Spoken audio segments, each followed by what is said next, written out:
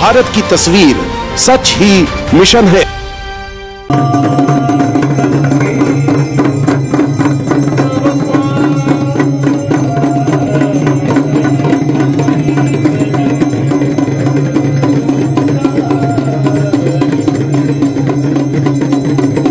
नमस्कार, भारत की तस्वीर में आपका स्वागत है। भारत की तस्वीर में हम अस्सी घाट पर हैं और कुल्हड़ की चाय भी हमारे साथ है। और हमारे साथ हैं अभिनेता निवान सेन, जो कि निर्माता भी हैं फ़िल्मों के। कई सारी हिट सीरियल, कहानी घर घर की, प्यार का दर्द है मीठा मीठा। और अभी हाल में स्टार पर जो सुपर हिट सीरियल इनका रहा है, गुम है किसी के प्यार में, उसमें एक अहम किरदार इन्होंने निभाया है। बहुत सारी फ़िल्मों में आप देखते हैं, बहुत सारी सीरियल्स में आप लोग इनको घर घर में जानते हैं, निवान सेन हमारे साथ हैं और आप हमारे साथ पार्था भट्टाचार्य जी हैं, जो कि लेखक हैं।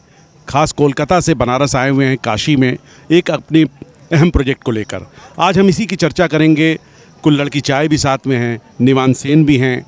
और सबसे बड़ी बात है कि निवान सेन का नाता बनारस की इन्हीं गलियों से है। और अरसे से ये बनारस से जाने के बाद मुंबई में काम कर रहे हैं, अपना नाम कमा रहे हैं। और काशी से इनका अगाध प्रेम है और यही वजह है कि आज काशी में है। निवान सिंह जी, भारत की तस्वीर में आपका बहुत बहुत स्वागत है। धन्यवाद अश्विनी जी। गंगा के किनारे आपके साथ बैठा हूँ तो पुरानी यादें ताज़ा हो गई।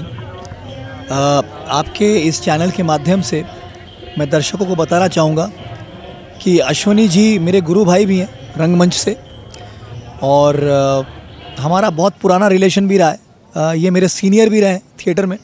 मंच दूत हमारी संस्था का नाम था, उसके हमारे सीनियर आर्टिस्ट भी रहेंगे। और आज मेरा सौभाग्य है कि अश्विनी जी अपने ही गुरु भाई का इंटरव्यू ले रहे हैं। आई एम ब्लेस्ड और, बनारस से अपना नाता तो ऐसा है कि बनारस से मैं कभी छूटा ही नहीं। देखिए, बनारस से आपका नाता बड़ा गहरा है। दरअसल मैं उसके पहले मैं खुद बहुत अपने आप को गर्वित महसूस कर रहा हूँ कि मेरे भाई निवान सेन, छोटे भाई निवान सेन, जो कि आज हमारे जो हमारे गुरु थे, स्वर्गीय विश्वनाथ बोस दादा, जिनसे हमने कभी अभिनय की बारीकियाँ सीखी थी, और अलग अलग विधा में लोग सक्रिय हैं, उनके तमाम शिष्य। उसमें से हम, मैं पत्रकारिता में सक्रिय हूँ, और आप निवान अभिनेता बने। तो दादा का जो एक सपना था, उसको आप पूरा कर रहे हैं। इसलिए मैं बहुत सौभाग्यशाली समझता हूँ अपने आप को। नहीं, बिल्कुल, आप सौभाग्यशाली हैं। हमारे साथ जुड़े वो तमाम लोग बहुत सौभाग्यशाली हैं, जो दादा ने हम लोग को सिखाया था। हमारे क्षेत्र बदल गए। लेकिन हम हर लोग अपने अपने क्षेत्र में अपना सौ फ़ीसदी देने का प्रयास कर रहे हैं। दादा के बताए हुए उनके आचरण, उनके गुणों को हम अप्लाई करने का इम्प्लीमेंट करने का प्रयास कर रहे हैं अपने अपने गुणों के माध्यम से। और आज आपका सवाल था बनारस में आके कैसा, बनारस से मैं कभी डिटैच हुआ ही नहीं। बनारस हमेशा मेरे दिल के करीब है। आज भी सपने देखता हूँ तो बनारस की सपने देखता हूँ। बनारस के अलावा कोई सपना मेरे सपने में नहीं आता। है मेरा जन्म बनारस में हुआ। मेरा घर बनारस में है। आ, मेरा होम टाउन है बनारस। यहीं से मेरी शिक्षा दीक्षा हुई मेरी पढ़ाई मेरा मास्टर्स मैंने यहीं से करा महात्मा गांधी काशी विद्यापीठ से। और मतलब एक होता ना माँ का बच्चे के साथ जुड़ाव। तो बनारस की मिट्टी के साथ वो बंधन है मेरा। बनारस की मिट्टी के साथ आपका बंधन है। मैंने वो तमाम सीरियल आपके गिनाए और अभी स्टार पे जो सुपर हिट सीरियल आपका रहा उसमें आपके किरदार की बड़ी चर्चा हुई। क्या कहेंगे उस किरदार के बारे में? क्या कुछ आपका अनुभव रहा है? देखिए सदानंद के किरदार को लोगों ने बहुत प्यार दिया। आ, मैं बहुत बहुत शुक्रगुजार हूँ आपके इस चैनल के माध्यम से। हमारे तमाम उन ऑडियंस का उन दर्शकों का जिन्होंने हमारे इस शो को प्यार किया। और आज भी वो one of the number one show में से एक है गुमे किसी के प्यार में। और सदानंद का किरदार आज भी लोग याद करते हैं आज भी लोग मिलते हैं तो मुझे पूछते हैं। बट क्या होता है कई बार जीवन में डेली सोप का रूटीन थोड़ा अलग होता है। टाइम एडजस्ट करना बड़ा मुश्किल हो रहा है। जिस समय मैं ये शो कर रहा था, उस समय मैं ऑलरेडी एक कमिटमेंट मेरा था, एक वेब सीरीज़ के लिए। जो इस समय वूट ओरिजिनल पे आप देख सकते हैं। वूट ओरिजिनल और उल्लू ओरिजिनल पे झुमके, जिसकी मेरी शूटिंग थी, वो क्लैश हो रहा था डेट्स और मुझे अपनी वाइफ से मिलने बैंकॉक भी जाना था, जिनसे मैं ढाई साल से मिल नहीं पाया था। तो मेरी पर्सनल लाइफ मेरे पर्सनल कमिटमेंट उसके बीच में आ रहे थे। तो मैंने प्रोडक्शन हाउस से बात किया। डेट क्लैश हो रहे थे तो एक म्यूचुअल अंडरस्टैंडिंग पे मुझे शो छोड़ना पड़ा। That was the reason but मैं फिर से आप सभी ऑडियंस का, सभी दर्शकों का शुक्रिया अदा करना चाहूँगा आपके चैनल के माध्यम से कि उन्होंने इतना सारा प्यार दिया उस उस किरदार, सदानंद के किरदार को। आपने कहा कि आप अपनी पत्नी से मिलने के लिए ढाई साल का आपको इंतज़ार करना पड़ा, बैंकॉक जाना पड़ा, ज़ाहिर सी बात है कोरोना काल था, और वो आपकी जो भावनाएँ थी वो भी हम देखा करते थे। तो बड़ा हमें भी लगता था कि आप लोगों को मिलना चाहिए, और ईश्वर ने देखे कोरोना का अंत किया और आप बैंकॉक पहुँच गए। तो कैसा लगता है आपको एक अभिनेता के तौर पे बनारस की गलियों से निकल निकल कर मुंबई में बहुत सारी जो आपने आपने अचीवमेंट हासिल किया, उसके बाद पत्नी से मिलने के लिए आपको जाना पड़ा तो कहीं ना कहीं आपको लगता नहीं है कि आपकी जो संवेदनाएँ हैं, उतना कितना मज़बूत होना चाहिए एक अभिनेता के लिए? देखिए, मैंने तो एक ही चीज़ समझा है अपने संघर्ष के दिनों से, आज भी संघर्ष चल रहा है, कि वक्त किसी का इंतज़ार नहीं करता। एक इंग्लिश में कहावत है time and tide wait for none तो हर इंसान को ज़िंदगी में अपने वक्त को वैल्यू देना बहुत ज़रूरी है। मेरे पापा ने भी एक ही बात समझाया बचपन से हमें कि अगर वक्त की इज़्ज़त करोगे तो वक्त आपकी इज़्ज़त करेगा। वो आज भी पंक्चुअल हैं। आज भी वक्त की इज़्ज़त करते हैं। मैंने एक ही चीज़ सीखा इस कोरोना काल में कि वो जो ढाई साल मेरी ज़िंदगी के निकल गए, मेरी शादी हुए, साढ़े चार पाँच साल हुए, उसमें से ढाई साल ऐसे ही निकल गए। मैं अपने अपने फादर से नहीं, अपने पापा से नहीं मिल पाया, मैं अपनी वाइफ से नहीं मिल पाया, अपने दोस्तों से नहीं मिल पाया।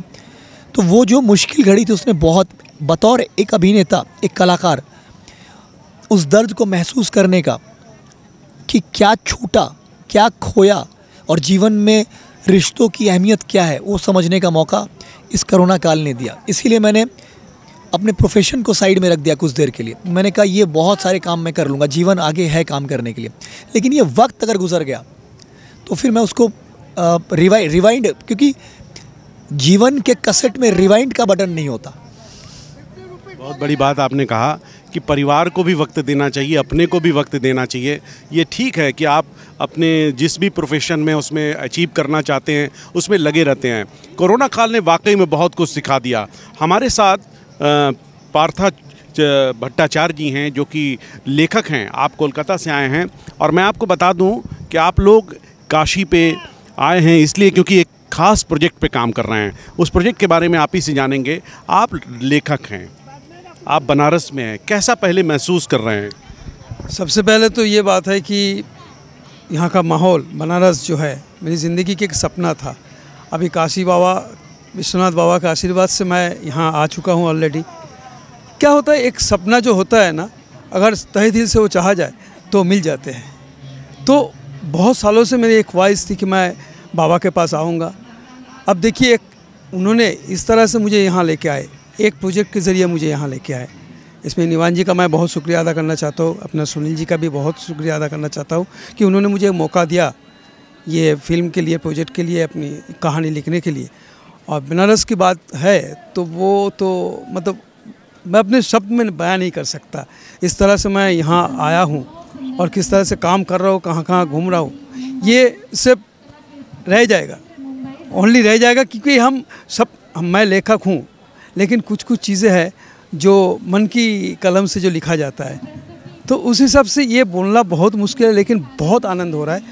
एक एक चीज़ एक एक कण एक एक जगह पे गलियाँ, बनारस के गलियाँ, लोग, इतने सारे बाबा का मंदिर है, माता मंदिर है, अन्नपूर्णा जी का मंदिर है काल भैरव जी का मंदिर है। ये सब चीज़ मैं देखते देखते मतलब जिसको बोलते हैं मेजमराइज हो जाना। और और सब में बयान नहीं कर सकता लेकिन बहुत अच्छा लग रहा है और ये अभी तक ख़त्म नहीं हुआ अभी भी मैं इंजॉय कर रहा हूँ ये और करूँगा भी। बनारस पे आपको मालूम है कि आप जानते होंगे कि बहुत बड़े बड़े लेखक हुए यहाँ से। बहुत बड़े बड़े रचनाकार हुए काशी सही साहित्य की नगरी है संस्कृत संगीत की नगरी है अध्यात्म की नगरी है। तो मुझे लगता है कि आपका ये जो दौरा है बहुत कुछ दे कर जाएगा। ज़रूर देकर तो जाएगा। और ये कहानी जो लिखी जा रही है तो अपने यहाँ का जो प्रेक्षापट है, उसके हिसाब से भी लिखा जा रहा है, ताकि हम यहाँ के संस्कृति दिखा सकते हैं। हमारा जो प्रोजेक्ट है, ये है इंडो थाई प्रोजेक्ट। मतलब थाईलैंड और इंडिया का जो कल्चर है, थोड़ा बहुत मिलता जुलता है। तो मुझे तो लग रहा है कि मैं बनारस के बारे में, अपने देश के बारे में इतना कुछ लिखूँगा, शायद एक प्रोजेक्ट में वो ख़त्म नहीं होगा। लेकिन, है तो बहुत कुछ इधर। लिखने के लिए, दिखाने के लिए लोगों को, मैं खुद ही इतना कुछ देख रहा हूँ, इतना कुछ सीख रहा हूँ। तो कोशिश करता हूँ कि एक प्रोजेक्ट के ज़रिए मैं ये लिख पाऊँ, लोगों के सामने ला पाऊँ। आगे देखते हैं। आगे आप देखते हैं क्या होगा। निवान सेन, आप बनारस के हैं, इंडिया के हैं, थाईलैंड में आपकी धर्म पत्नी रहती हैं। क्या रिश्ता जो आपने बनाया, वो संबंध अब फ़िल्म में कन्वर्ट हो रहा है? और आप दोनों देशों के सहयोग से फ़िल्म बनाने जा रहे हैं बहुत बड़ी बात है। कैसे ये संभव हो सका? आ, मैं इसके लिए शुक्रिया अदा करना चाहूँगा। हमारे प्रोड्यूसर हमारे पार्टनर श्री सुनील कोठारी जी का जिन्होंने अपने विचार को हमारे सामने रखा। थाईलैंड में सुनील कोठारी जी एक प्रतिष्ठित व्यवसायी के रूप में जाने जाते हैं। एक बहुत बड़े अच्छे फिलोसोफर हैं। एक बहुत अच्छे वक्ता हैं, एक बहुत अच्छे विचारक हैं। जब हमारी मीटिंग हुई, एक रियलिटी शो में मुझे एज ए गेस्ट बुलाया गया था। जहाँ पे पहली बार मैं सुनील जी से मिला, उसके बाद फिर उन्होंने हमें डिनर पे इनवाइट करा और हमारी बातचीत हुई। हमको लगा उनके विचार कि एक इंसान, एक व्यक्ति विदेश में भी रह करके हिंदुस्तान के बारे में इतनी व्यापक पैमाने पर इतनी बड़ी वृहत विचारधारा रखता है। हमारे संस्कृति के बारे में, हमारे कल्चर के बारे में, हमारे विचारों को लेके, हमारे आध्यात्म को लेके और ऐसी चीज़ों पे आज मेरा गला बैठा हुआ है। समझ सकता हूँ, आप बनारस में चूँकि इस समय त्योहारों का मौसम है तो बहुत सारे पर्यटक आ रहे हैं और तमाम तरह की चीज़ें हो रही हैं तो आपके गले में दिक्कत आई है लेकिन उसके बाद भी आपने समय दिया है। नहीं नहीं नहीं मैं हम एक कलाकार के रूप में जब बोलता हूँ तो मुझे लगता है कि मैं उस स्ट्रेंथ से बोल नहीं पा रहा हूँ। लेकिन खैर आप तो समझ आप तो मेरे गुरु भाई रहे आप समझ सकते हैं। बिल्कुल समझ सकते हैं। आपसे ये जानना चाहेंगे ये जो प्रोजेक्ट है इसमें क्या कुछ आप बताना चाहेंगे दर्शकों को? मैं वही बता रहा था वो कंटिन्यू कर रहा हूँ। सुनील जी से सुनील जी की जो विचारधारा थी हमारे क्रिएटिव टीम और हमने सुना हमको लगा कि इसको हम सिनेमैटिक रूप से अगर हम अपने देशवासियों के सामने, विश्व पटल पर सिनेमा के माध्यम से रखेंगे तो बहुत सारी चीज़ें जानने को मिलेगा। देखिए सिनेमा का माध्यम ये नहीं होता कि हम कुछ भी परोसें। सिनेमा का मेरा ये मानना है सिनेमा वो चीज़ है जो आपके व्यक्तित्व का आईना है, समाज का आईना है, हम वो चीज़ दिखाएँ जो जो रोज़मर्रा की ज़िंदगी में आपके साथ घटित होती है। उसको सिनेमैटिक तरीके से हम समाज के सामने रखते हैं। और आज इस वर्तमान परिप्रेक्ष्य में जहाँ O T O T T channel इतना स्ट्रॉन्ग तरीके से अपनी दावेदारी प्रस्तुत कर रही है, वहाँ पे आप देख सकते हैं कि सामान्य सब्जेक्ट पे इतने बड़े बड़े शोज़ बन रहे हैं। पंचायत, गुल्लक आई मीन मिर्ज़ापुर, जो ज़मीन से जुड़ी हुई कहानियाँ हैं तो हमें भी लगा कि हम भी अपनी बात को रख सकते हैं सिनेमा के माध्यम से। प्रयास यही है कि हिंदुस्तान और थाईलैंड के जो कल्चर है जो बेसिक टैबूज़ हैं जिसको हमने शायद छोड़ दिया कहीं पीछे उसको फिक्शनाइट करके कंटेम्प्रेरी वे में हम ऑडियंस को दिखा सकें।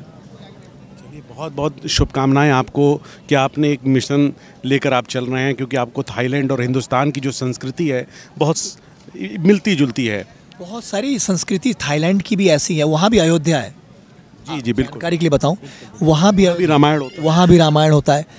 थाईलैंड में मैं जाके सरप्राइज़ हो गया कि थाईलैंड में भी हिंदू देवी देवताओं की इतनी ज़्यादा पूजा होती इतने सारे मंदिर हैं कि भगवान शंकर गणेश जी का माता माता रानी का सबका मंदिर है इतनी पूजा पाठ होती है इतने धार्मिक लोग हैं वो लोग इतने संस्कारी लोग हैं। I will it's very difficult to explain in words बहुत।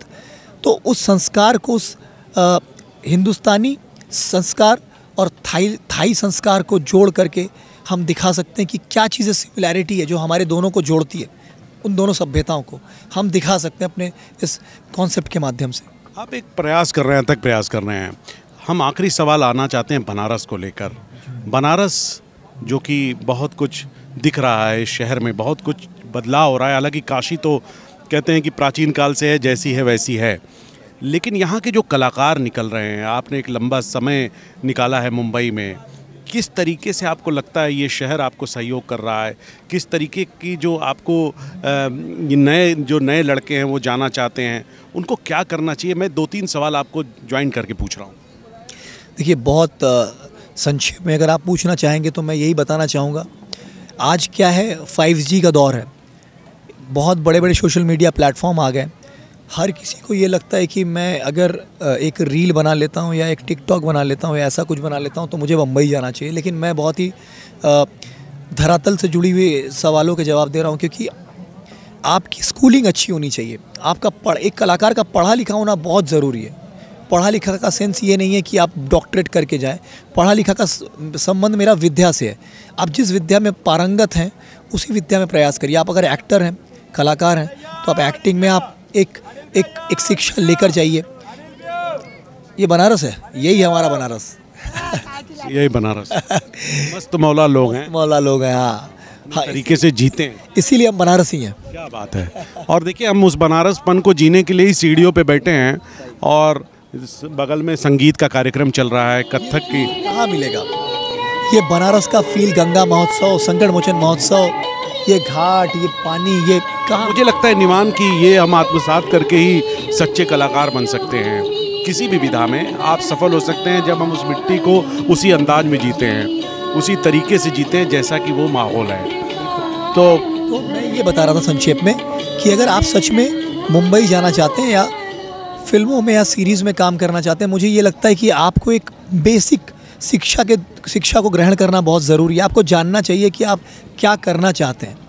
तो उसके लिए प्रॉपर तरीके से आप ट्रेंड होके जाइए और थोड़ी सी आर्थिक स्थिति मज़बूत करके जाइए क्योंकि बड़े बड़े कलाकार जब बड़े स्टार बन जाते हैं वो आपको बेसिक चीज़ नहीं बताते।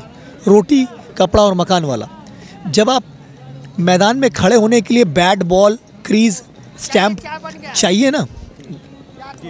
जी जी ज़रूर चाय के लिए आएँगे। हाँ भैया आवत ही आवत ही भैया। तो चाय पिए। आवत ही भैया चाय पिए। निवान जी आखिरी सवाल हम आपसे कर लेते हैं क्योंकि चाय भी एक और आने वाली है और आरती का वक्त भी हो रहा है। सवाल ये है कि इस समय बॉलीवुड में बहुत सारे अभिनेता हैं जो काम कर रहे हैं लेकिन कुछ अभिनेता देखिए ये माता जी ये बनारस हैं माता जी चली गई हैं यहाँ सामने से बड़ा अच्छा भाव रहा है। बहुत सारे जो अभिनेता हैं वो तो सफलता की तरफ़ अग्रसर हो जाते हैं। हर विधा में संघर्ष है लेकिन अक्सर कुछ घटनाएँ सुनने को मिलती हैं और हाल के दिनों में कुछ ऐसी बीमारियों से लोग अभिनेता चले जा रहे हैं। आप क्या कहना चाहेंगे? धन्यवाद भैया। एक चाय और लिया हुआ भैया। बिल्कुल बिल्कुल एक चाय और। अश्वनी चाय? महादेव। महादेव हर हर महादेव। हर महादेव। देखिए आपको स्ट्रांग बनने के लिए आप क्या कहेंगे? बिल्कुल, देखिए मैं ये कहूँगा, जो लोग भी जा रहे हैं, आज एक हमारे फेटर्निटी के ये एक्टर गुजर गए, बहुत ही युवा अवस्था में, चौवालीस साल उनकी उम्र थी, ऐसे बहुत से कलाकार पिछले गत दो, विगत दो सालों में गुजर गए, हमारे यंग लोग स्ट्रेस लेवल इतना ज़्यादा है इंडस्ट्री में, इतना ज़्यादा स्ट्रेस लेवल है खान पान सही नहीं है फ़िज़िकल एक्टिविटी इतनी नहीं है, बहुत सारी चीज़ें मायने रखती है एक इंसान के लिए। प्रेशर डेली रूटीन का भी चक्कर है। तो मुझे ये लगता है कि प्रतिस्पर्धा स्ट्रेस ये बहुत बड़ा रीज़न है कि कम एज में लोग चले जा रहे हैं। मैंने अभी कुछ दिन पहले सुना एक अ, कलाकार हैं टेलीविज़न के अलग एक्ट्रेस ने सुसाइड कर ली। स्ट्रेस लेवल डील नहीं कर पा रहे उनको सही मार्गदर्शन नहीं मिल पा रहा है। दे आर स्टार्स बट सही गाइडलाइन नहीं उनके पास। मोटिवेशन की कमी है मुझे ऐसा लगता है। वो देखिए बात तो सिंपल सी ये है जब आपकी मानसिक स्थिति आपके दिल से कंट्राडिक्टी रहेगी आपके हृदय से उसका तालमेल नहीं रहेगा आप हार जाते हैं। उन दिमाग मस्तिष्क और हृदय के बीच का तालमेल बहुत ज़रूरी है वो भी सशक्त तो तरीके से। अर्थात आपसे दादा पूछना चाहेंगे? जी जी। ये जो जैसा निवान भाई ने कहा कि लोग बहुत जल्दी हार मान जाते हैं अपने आप को मज़बूत करने के लिए क्या करना चाहिए इन अभिनेताओं को लेखक को या किसी भी प्रोफेशन के लोगों को? कोई भी प्रोफेशन में अच्छा सवाल तो बहुत अच्छा किया और बहुत रियलिटी बेस्ड सवाल किया आपने। ये मेरे हिसाब से ज़्यादातर लोगों की ज़िंदगी में होती है। अगर कोई एक मंजिल अगर कोई ठीक किया वो अभी वो मंजिल में नहीं पहुँच पाए तो ज़्यादातर लोग गिव अप कर देते हैं हाल छोड़ देते हैं। जैसे कि ये देख रहा हूँ मैं इधर सामने गंगा नदी है गंगा माया। यहाँ जो बोट वगैरह चल रही है तो उसमें अगर तूफ़ान आ जाए भाई साहब थोड़ा सा।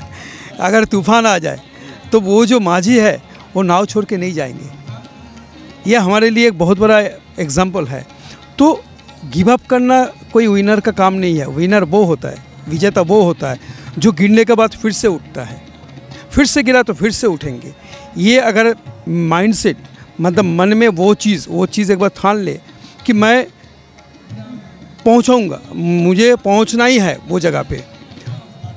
जोड़ना चाहूँगा पार्था जी किस बात पे। मुझे डेढ़ दशक हो गए। इसी बनारस शहर से उठ के गया हूँ एक मध्यम वर्गीय परिवार से। एक ही चीज़ सीखा मैंने नेवर गिव अप आप हिम्मत मत हारिए। जैसे रात के बाद दिन आता है, फिर शाम आती है, फिर रात।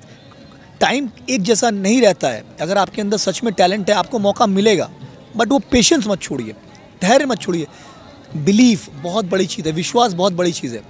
और ये अश्विनी शर्मा जी भी इत्तेफाक रखते होंगे, क्योंकि ये हमारे गुरु भाई खुद भी बम्बई शहर में डेढ़ दशक काम करके एक संघर्षशील पत्रकारिता करके इस मुकाम तक पहुँचे जहाँ लोग आज उनको जानते हैं। आप भी इस बात को बता सकते हैं कि कैसे युवा गिव अप ना करें। देखिए, उसके लिए मैं यही कहूँगा और उसी से अंत कहूँगा कि हिम्मत बुलंद अपनी, पत्थर सी जान रखते हैं। हिम्मत बुलंद अपनी, पत्थर सी जान रखते हैं। कदमों तले ज़मी तो क्या हम आसमान रखते हैं। तो ये हमारी भावना होनी चाहिए, जो निवान जी से बात हुई, पार्था पार्थादा से बात हुई। और मुझे लगता है कि इससे बेहतर आप लोगों के इंटरव्यू का काशी के घाट पर समापन नहीं हो सकता। और आप लोगों को बहुत बहुत शुभकामनाएँ। आपने भारत की तस्वीर के साथ बात की। आपके जो नए प्रोजेक्ट है उसको सफलता हासिल हो और आप शिखर पर पहुँचते रहें। बहुत बहुत शुभकामनाएँ आप दोनों को। बिल्कुल बिल्कुल। हर हर महादेव कर दीजिए। ठीक है? हर महादेव। बहुत बहुत धन्यवाद।